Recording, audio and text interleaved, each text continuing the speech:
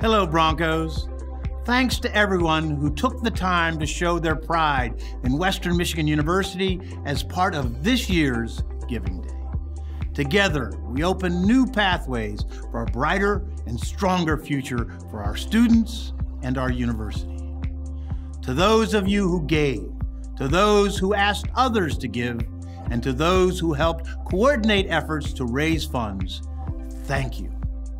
Your participation demonstrates that wherever they are, Broncos are committed to doing their part in ensuring Western's continuing success. Every gift makes a difference for our students, faculty, staff, and community.